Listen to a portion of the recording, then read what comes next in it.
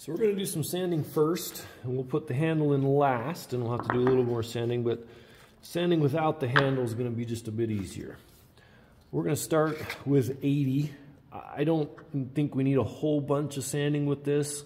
This is just if you have lots of pencil, maybe some glue globs. This will work a whole lot better. I'm going to sand with the grain. And we're just, just going to be hand sanding. Um, anything that's really visible, the 80 grit will take it off really fast. So like my pencil marks here, where I was drawing. And you can find better ways to do this. I'm just trying to hold this up where you can see it. We can lay it down and sand like this off the edge. Try not to sand the table. So we can sand that, and then we're just gonna work our way down so that we started with 80. Most of you probably can start with 100 grit, sand with 100 grit, get everything nice and smooth. Go over the inside, the outside if you wanna get rid of these burn marks You can sand those too. That would be a good job for the 80 grit. And work your way down after you've sanded everything with 100. You can go to 120. And if you want it to be really smooth, we can even do 150.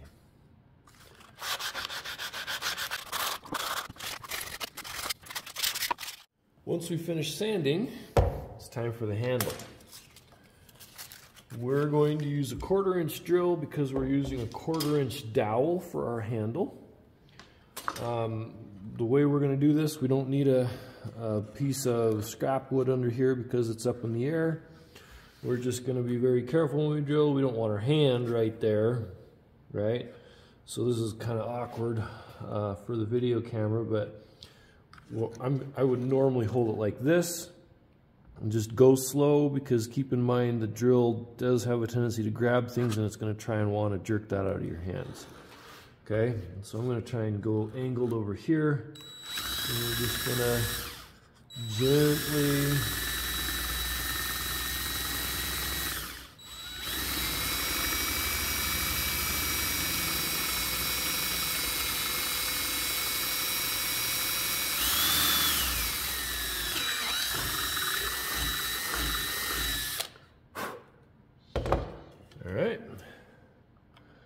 That's going to be going through there.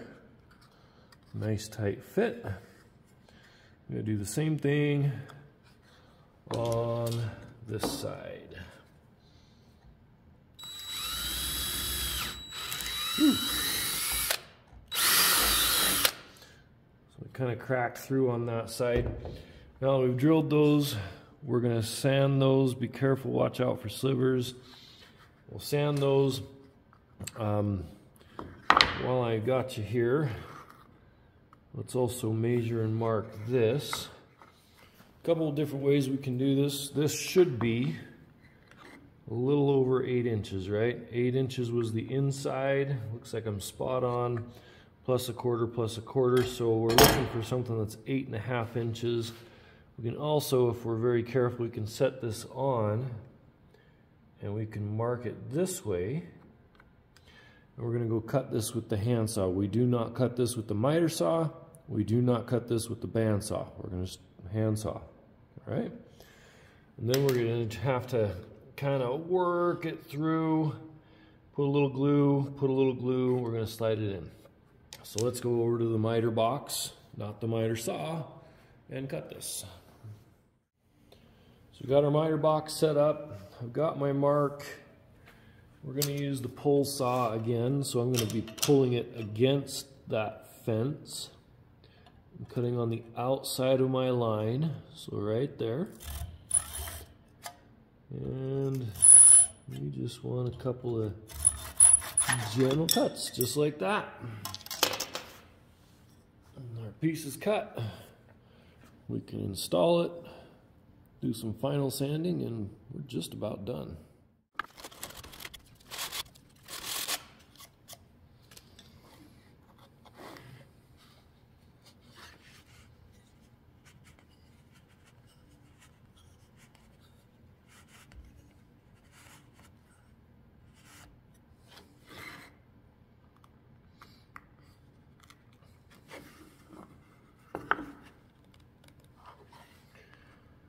Okay, before I go too far, I'm going to put just a little dab of glue in there. Just a little bit. A little dab of glue on the outside here. I'm going to spin that in. A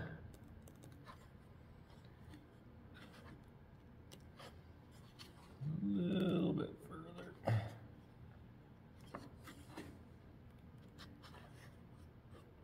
Okay.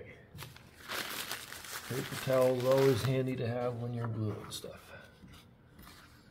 All right. So I cut it a little long. It's just barely sticking out on this side and this side, which is fine. So after that glue dries, we're going to want to sand those spots again and get that handle flush. And if you have time, we might even put a little finish on it. But at this point, we could grade this, we could turn it in. Well, there you have it. We have our little pencil box done. We're ready to go over it and grade it. Uh, things I'm going to be looking for, obviously you're going to have to use the rubric. Uh, I want you to measure everything and make sure we have all the right measurements, which we'll provide on the rubric. Uh, length, width, and height. Uh, we're going to be looking at how close our corners here are, uh, how good our arc is, how accurate that is. Um, does the box, does the bottom fit nice and tight all the way around? Handle installed, is it sanded and smooth? Is everything nice and square, 90 degrees, 90 degrees, 90 degrees? Um, just look at the rubric, follow the instructions on the rubric. You're gonna give yourself a grade. When you feel like you've got a grade, we can bring it up. You can show me what you think and we'll discuss it and we'll see if I agree. Hope you enjoyed this little project. Hope you find a little use out of it. Thanks for watching.